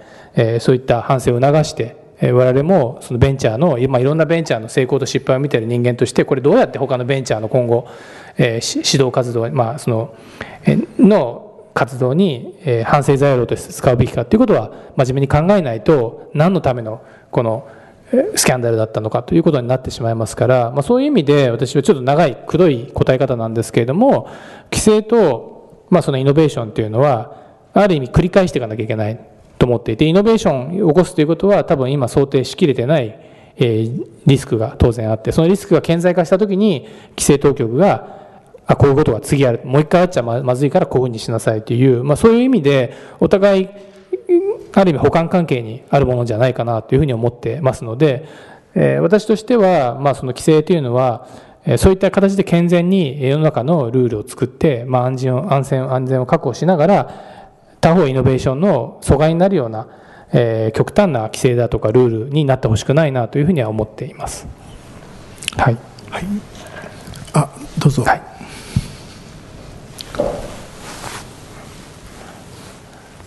日経新聞 OB の平田と申します、はい、中身の声話ありがとうございましたあの大企業はですね過去のレガシーを克服するためにもそのおっしゃるところの出島を活用するというお話だったんですけどその実際に見てみるとですねその新しい技術なり事業モデルなりが今大企業が成功している事業に歯向かうものであったりあるいはライバルになったりするものであると大企業って絶対そこをその手つけない。絶対というかほとんど手をつけないと思います。例えば、うん、ソニーがなぜ iPhone みたいなものを作れなかったかっていうと、彼らは音楽配、あ、iTune ですね。あの音楽配信のシステム、あの事業を持ってましたんで、それを食われるから作らなかったっていうのはよく言われます。それから、トヨタが、その、えー、EV で出遅れたのも、その内燃エンジンを、のすごい体系を持ってて、ねその資産もあるし、関連会社も含めれば大変な雇用を持ってたと。そうすると経営者はそこで新しいところに出ようという決断、なかなかならないと思うんですよ。それは出島で解決できるのか、あるいはその経営者、もっと頭のいい人を経営者にするとかですね、外部からもっと頭のいい経営者を引っ張ってくるとかいう、その経営者改革というものが必要なのか、そのあたりちょっと意見を聞かせていただけますか？はいありがとうございます。あの特にウィルに実は参加している経営者というのは新しいことをもうや大いにやろうじゃないか。自分が社長になったんだからもう次ないんだから自分は失敗してももう上がってるんだっていう。逆に開き直ってる方が潔いというかある意味気持ちいい方多いんですね。じゃあなんでそれができてないのか。要するに社内に仮にカニバライゼーションが起きるような事業を誰かが提案した時になんでそれがすぐに押せてないかというとそれはやはりいかに社長であっても会社の組織を回さなきゃいけないっていう仕事があって、まあ、彼その彼なり彼女なりの思いだけで好き勝手やることができないと。要はやりたいし応援したいけれども当然それに反対する役員もいれば面白くないと思ってる部長もいるしこれみんなが動かないと当然事業ができないっていう状況。ある意味結構やりたいけどできないっていう歯がゆさを抱えてる経営者は思ってる以上に僕は多いと思います。で出島を今回思いついた理由はまさにそういう経営者がいれば我々が外で社内とぶつかるようなことを自由にできるような環境を作っちゃえばそこでやらせとけばいやあの人たちが勝手に始めちゃってさっていう言い訳できるわけですね。で当然そういう社内の社内でコンペしたいと思ってる若者はいっぱいいるわけです。ソニーとか NTT とか日産とか行けば。だけど会社の中にいたら上司の言うこと聞かないと上司が出世できなくなっちゃうから面白くない。自分本当はこっちこの部活部活動やりたいけれどもそんなことやってやってるんだったら俺手伝えってなっちゃうそういういろんな意味でのストレスを抱えて大組織はあると思っていて私がこれチャンスがあるなと思ったのは日本の組織には何人か私の中でイノベーションを起こすのは5%でいいってよく言ってるんですけど、どの組織でも5%ぐらいはちょっと変わった人がいるわけですね。その変わった人を生かせてないのが今の日本の会社の不幸まあ、会社だけじゃない日本の組織の不幸だと思っていて、えそのいわゆる異能異端児と言われてる人が仮に外に飛び出て社長がいやもう本当はやれ何でもやれるんだったらやりたいんだよねっていうものを仮に自由にやれるような場を作ったらまさに今の、まあ、このウィルのような形ができるんじゃないか。実際ウィルでやってるプロジェクトは、まさに今ご指摘の社社内でやりにくいことが多いんですね。社内でこれやるとこの部署が気に入らないとかですね。今、金、すごく儲かってる部署の、例えばサービスをこっちでは格安でやりますって言った瞬間に、ちょっと待ってくれと言われてしまいますので、私は、まあ、その、違う同業他社にやられる前に、身内でそれでできる儲かる仕組みを作って、途中で特化移行するぐらいのことが、そういう判断が、そういう経営スタイルが持てないと、今後はなかなかこのスピードの exponential な時代では、えー、こう防戦防戦では多分 survive できないだろうという思いもあって、あのまさに今のご指摘のポイントを解決するために、こういう治外法権出島っていうのを作ったという経緯があります。はい、ありがとうございます。はい、じゃあ、あの最前列の方、お願いします。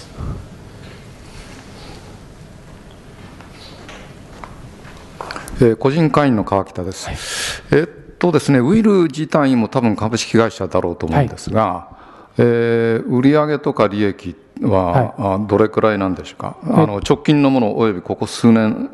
のをちょっと挙げてもらいたいんです、えっと、ウィルという会社は、まあ、ちょっと変わった会社でございまして、あの会社を作ってちょうど今5年目なんですけれども、あの、まあ、売上っていうのはいろいろコンサルしたりとかしてもあるんですが、基本的には皆さんから預かったお金の、えー、まあ、大体2%ぐらいを予算として取れるっていうことで、まあ、今、いくらぐらいあるんですかファンド総額で、まあ、1000億ないか、えぐらいですけれども、800億ぐらいだと思うんですけど、かける2%が売上だと思っていただけると近いんじゃないかなと思います。まあ、そのか売上を使って、まあ、社員を雇って、いろんなプロジェクトを起こして、で、プロジェクトで起こしてプラスが出ると、え、私のもらっている給料をまず返済して、え、完全に返済し終わった後に、今度は25%成功報酬でもらうと、そういうビジネスモデルになってます。まだいろんなプロジェクトを仕掛か途中なので、あの、完全にこう、プラスになってはいないんですけれども、まあ今もある意味、えー、ちょうど今途中、折り返し地点というか私の中では、えー、ある程度プロジェクトが成功したプロジェクトと失敗したプロジェクトが出てきてるので、成功したプロジェクトがあると、ちゃんとお金を返して、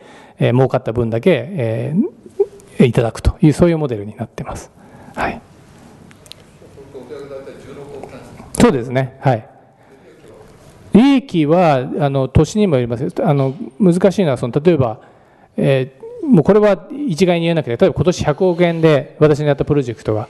買収されましたと。でそれに対してかけた予算はわかんないですけど、じゃあ10億円でした。90億円が利益ですよね。でその利益のうちの25%が私の収益になって、残りの75%どこ行っているとかというと出資している企業に配当されているので、それは年度によってだいぶばらつきがあります。基本的には赤字にはならないように経営はしています。はい。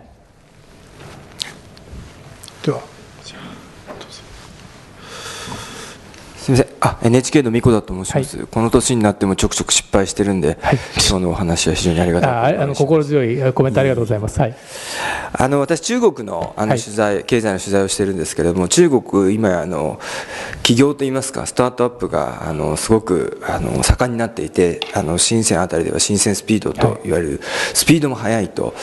でもう日本はあの経済の規模だけでなくそこでも負けてるんではないかという指摘を聞きます、そこであのベンチャーの本場あのカリフォルニアであの仕事をされているいろんな会社を見ているあの吉山さんにお伺いしたいんですけれども、はい、そのまあ、中国と日本のですね現時点のその悲願の差をですねおそらく中国の方もアメリカでいっぱい起業されていると思うんですけれども、はい、その辺のどういう違いがあるかということとですね、うん、一つはですねあの中国はあのアメリカと違ってですねあの、まあ、思想の自由が、まあ、一言で言うとない国だと思うんですよね。あのある部分は許されても究極的には許されないと。でインターネット上の情報もですねあの中国で、えー、データ貯めたものを外に出してはいけないとかいろんな情報の規制もしていると。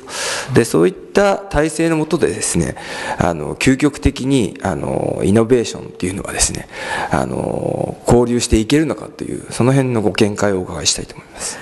はい、あの前段のその中国と日本を比べて感じる違い。私もあの実は2003年ぐらいから2009年ぐらいまでは毎月北京にあのベンチャー企業ある私の友人のやってる会社を支援してたんで、サンフランシスコから北京に毎月通ってたんですけれども、おっしゃるように中国、いまだにその後も、あの、いつか中国バブル弾ける弾けると言われながらも、ベンチャー企業に関して言うと、ものすごく投資も活況ですし、えー、起業家になりたいっていう人もものすごい数で増えてます。一言で言うと、中国はまだ日本と比べると圧倒的にまだ貧乏な人が多いですし、やっぱりお金持ちになりたい、いい生活をしたい、豊かになりたい、自分の一族にいい思いさせたいっていうハングリー精神でベンチャーに行く人が圧倒的な数なので、残念ながら、まあ、こんなに豊かになった日本でそういうハングリー精神持てってですね、言ってもですね、これはそういう環境がないと訪れようがないと思うんですね。私が中国2003年にいた北京というのは臭いし、タクシーは汚いし、もうひどい、要するにここでよくインターネット機器産業なんてやるなと思ったんですけれども、あっという間に街は、まあ、ある意味表面的かもしれないんですけど、綺麗にはなってますし、生活レベルは向上してますし、行くたんびにタクシーのグレードは上がってる。まさにそれが生活を良くしたい、もっといい生活をしたいという人間の根源的な欲求で新、まあ、リスクを取ってでもやるベンチャースピリットが増えている今の中国の実態ではないかなと思ってます。で、それがなんで思いのほかに続いているかというと、やっぱり中国国内の市場がものすごく大きいということに尽きるかなと思っていて、やっぱりあのまさに今おっしゃ講談の話になった中国って僕からすると鎖国している国なわけですよねあの自分自社で都合よく自社の会社を勝たせるような構造を作ってるんですけれどもそれはもしかしたら例えで言うと過去の日本と同じで日本国内経済国内の人口が増えて国内が豊かになっている間は国内だけでどんどん商売を伸ばせる産業であったり会社がいっぱいあるのでまさにそういうステージでやってるんではないかなと。なので今後その中国発の技術が本当に海外で受け入れられるのかというふうに言われると僕はそれは結構ハードルが高いと思ってます。まさに中国のはずの技術は国がコントロールしやすいような技術スタンダードをどうしても導入してしまっているので、アメリカなんか特に使いにくいわけですね。中国製品を当然政府なんか使ってませんし、そういうような形で、中国鎖国するんだったら当然こっちだって買わないぞという部分も当然あるわけですけれども、ただこれはアメリカのものを買ってもらいたいんで、いろいろあの一筋縄にはいかない判断だと思いますが、講談の部分で言うと、僕はそういう意味では中国が本当に開放して世界のテクノロジーのうん、例えば先端に立とうという気を持った時はですね今のやり方ではなかなか難しいと思いますのであのそれはもしかしたら過去の日本がたどったような国内でリッチになって海外に出る時に、まあ、あるいろんな海外の事情に合わせて適応していかないとそう簡単には僕はあのいい世界は待ってないんじゃないかなというふうには考えています。はい、どうぞ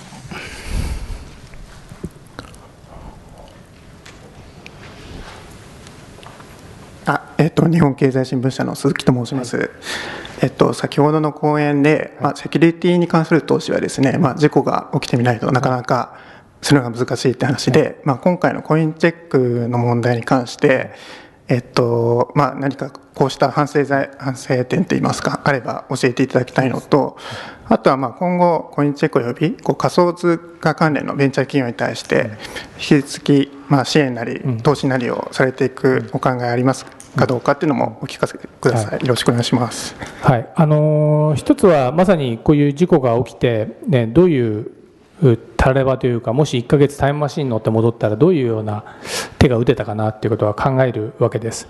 ですごく冷めた目でじゃあちょっと正しいかどうかとして分析するとその仮想通貨のマーケットがすごくヒートアップ去年ぐらいからしていろんな人がある意味楽して金儲けできるということで口座を開設して参加するわけですよね。で皆さんであの仮想通貨取引されてる方いらっしゃるかどうかわからないんですけれどもでその時の心理状況っていうのはいかに簡単に口座が開設できていかに簡単に売買ができていかに簡単に換金できるかっていうユーザーにとってのいわゆる利便性が大事になるわけです。で、仮想通貨というのは今流行ってますから、もう世界中から中、まあ、いろんな国の人も参加して、こっちの方がサービスいいぞとかっていうことで競うんですけれども、今回の多分一つの難しい哲学的な問いは、利便性を重視すると、当然セキュリティの方がおろそかになる。なぜかというと、セキュリティを固くす、ガチガチにしてしまうと利便性がどうしても確保できないっていう相反する関係にあるのでそこのバロメーターをどこに調整するのが正しかったかっていうことなんですよね不祥事が起きた後はなんでセキュリティもっとガチガチにしなかったんだって議論になるんですけれども世の中がうまくいってる時っていうのはセキュリティガチガチにしてる会社にはユーザーからなんでこんなに使い勝手が悪いんだっていうクレームで、えー、プレッシャーがかかるっていう、まあ、非常に不思議な現象が起きてるわけですね。だからそれに日々対応しなきゃいけないのがベンチャー経営者の役割でもあり、どこにその塩梅を調整するのかっていうのは、正直、まあ、いろんな関係者、有識者を集めて、その都度考えてやらなきゃいけないんですけれども、おそらく今回の、私もその、先ほど申しましたように、あの当事者、あの経営の中で見てるわけではないんで分かりませんが、やはりそこのもしかしたら判断が甘かったという反省はできるのかもしれないですね。もしこれがわからないですけれども銀行元銀行員の私が社長だったらもうちょっとコンサバかもしれないとかですね いろいろ妄想は尽きないわけですけれどもでも今度コンサバやると銀行員社長だからこんなに使い勝手の悪いサービスなんじゃないかって多分僕は怒られてですねすいませんとか言ってやってて。でこの問題はすいませんで済んでるうちはいいんですけれども仮に外部から出資受けてた場合は投資家から怒られるわけですね。あんたは十分に営業してないと。だから同業他社にやられるんだっていう形でこれユーザーだけじゃなくていろんな人から怒られてしまう中で経営者として判断しなきゃいけないっていうのは実は僕は結構難しい問題であの一つ例外はまだわからないですけどもしその会社自体が悪さしてたらそれはもうみんなで社会的な制裁で、えー、徹底的にやればいいと思うんですけども今回はまだそこも分かってない、まあ、おそらく外部だろうということにあの特に今回の技術で良かったのは技術がどこにそれが動いたかっていうのがトラッキングできるブロックチェーンを使ってるっていうことでトラッキングができるっていうことはどこでどういうふうに動いたかっていう検証しやすいわけですよね。証拠隠滅が非常にしにくい。え技術を使っているのででそういう意味ではあのどこで何が起きたかっていうのは仮に外部の犯行だったということがであればあのなかなかですねまさに今後この技術が便利にするという要素とでも便利性を犠牲にすると使いにくいとかですねえー、お金がかかるっていうこのユーザーにとっては不便不利益このバランスが必ず生じるわけですよね。でこれどっちにこの経営のリソースを割くべきかって会社経営やった人がいれば答え出ないですよね。でなんで今回みたいな外部のアタックがあってこんだけの被害出すっていうのは非常に不運でもあるし残念なことでもあるしたらればでいやもうちょっとじゃあコンサバにやってれば大丈夫だったじゃないか。テレビのコマーシャルなんてやってる場合じゃなかったっていくらでも僕はダメ出し確かにできるし反省してほしいことは5万とありますけれどもでも実際問題そこに僕がいた時に完全に不正防げたかって言われたら多分無理ですよね。これはもう先ほど言ったように新しい技術というのは100%え不正まあその不利益というかあのネガティブイベントを防いでできたら誰でもやってるわけなんで そういうリスクがあるから技術っていうのはそういうリスクを取れる人が挑戦する、まあ、先ほど言った5%ルールで世の中の人がみんなベンチャー起業家になる自然性もないしそんな社会になったら社会は混乱しちゃうわけですけれどもやっぱりそういうリスクを取らせるような人間をまあ生かす社会を作るかやっぱり日本は外人にリスク取ってもらってうまくいったものを改善する国にしましょうっていう、まあ、そういう判断にするのかどどっちかなっていうことをこの実は23日僕も考えていてやっぱりイノベーションの取り組みとしては日本から新しいものを生んでほしい日本から新しい技術世界に誇れるような技術を出してほしいと思って今シリコンバレーで生活してるんですけれどもでもそのスタンスを取りすぎると今回の事件も起きてしまうかもしれないんで、すごく難しいなと率直に言うとそういうような思いでまだこれだっていうふうに言えるような答えがないのが正直なところです。はい。ああの仮想通貨ってご存知のように仮想通貨っていう表面とその仮想通貨を支えてる技術がいっぱいありますよね。でこの仮想通貨の背景にある技術っていうのは僕は非常に面白い技術で別にその仮想通貨みたいに投機的に使われること以外にも使う用途がいっぱいありますからあのこの技術はただ面白いのは今、まあ、面白いって言っちゃいけないんですけどこの技術にもいろんなまだ穴があってそれは改善しなきゃいけないでその穴を改善する時のものすごいエネルギーっていうのはこういう事故があった時に発生するのがもう過去のテクノロジーの常なのでやっぱり今回の次元まあ、今回の事件が一つのきっかけとなってこのブロックチェーンのような技術がより発展するような健全なエネルギーとして社会全体で使われてくれればそれはあのそういうふうに発展することを望んでます。し私自身としてもこういう新しい技術をもっと今回の投機的な手段だけではなくて今非常に非合理的なあのビジネスで使われているやり方をリプレイスできて要するに効率化できる用途があるんであればそういったものに対してはどんどんどんどん投資してトライするってことはしていかなきゃいけないと思ってます。まさに我々の役割っていうのは失敗はかぶりますと。大企業直接やると危なっかしいから我々にそういうリスクを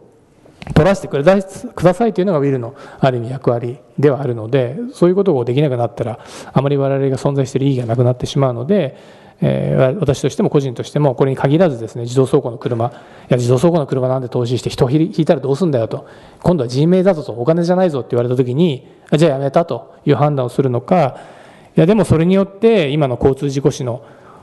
少なくとも減らすことはできると。だけど自動走行の車が暴走して人を引くことも多分ゼロにはならないと。どっちを取るのかって言われれば僕はもしかしたら進化を取らざるを得ない今は立場なんじゃないかなというふうに考えています。はい、すみません。えっとではこちら。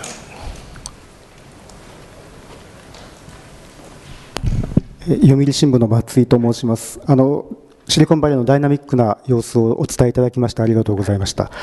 あの新聞を含むメディア企業も非常にあのまあ、情報技術の進歩とともに逆にその厳しくなっているわけなんですがその例えばこう先ほどの方もありましたがその紙の新聞を出している身にとってやはりそのデジタル事業へのそのなんていうか新しい展開というのを非常にあのカニバリを感じて非常にあの難しいところがありまして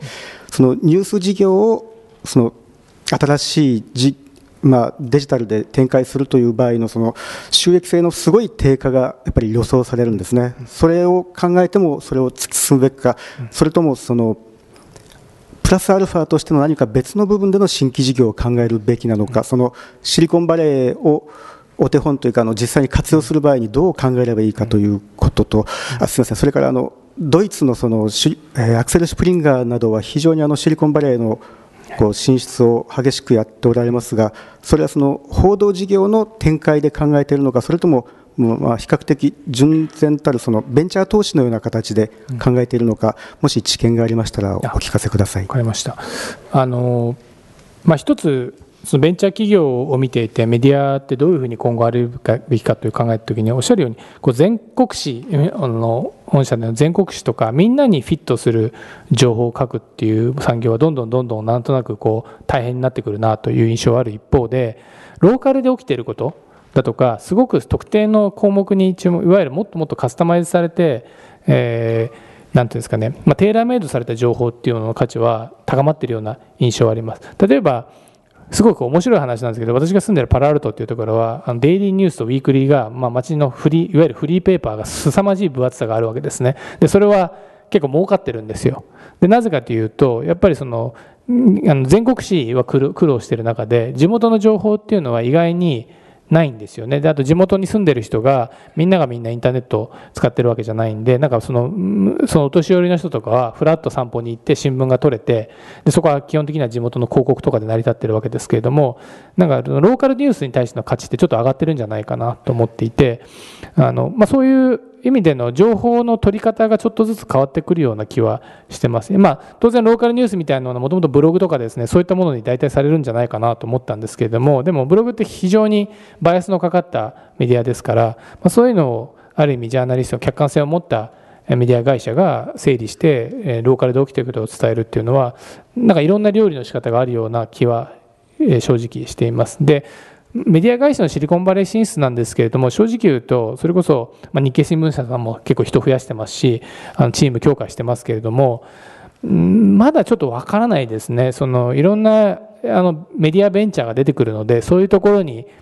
やられちゃまずいっていうことで、ある意味偵察的にいる部分もありますし、まあ、そういうベンチャーの今日の話じゃないですけど、合唱連行も含めて早めにベンチャー投資しておいて、もう味方に入れて大きくなる前に買収したいっていう思いで入ってる会社もいますのでそれはもうその時の意図によって結構いろんな思惑が混在しているような気がしていてこれだっていうのはまだ今のところ私が知る範囲ではないです。これは別にメディアだけじゃなくて自動車の会社もそうですし、あの消費財の会社も最近シリコンバレー増えてるんですけれども、こちらもその投資もしながら、まあ、もしかしたら買収しないとダメかもねみたいなことを考えながらもでもベンチャーがやってることなんかすぐうちでできるでしょうっていう形で ある意味半分スパイ的に入ってる人もいますし、まあ、いろんな思惑が今はまだあって正直この大企業のシリコンバレーブームって先ほどの世代であるように23年前から急激に始まった現象なのであの今後それが整理されてくるんではないかなというふうに感じてます。はいえー、ありがとうございました。では、時間となりましたので、えー、ここで終了させていただきます。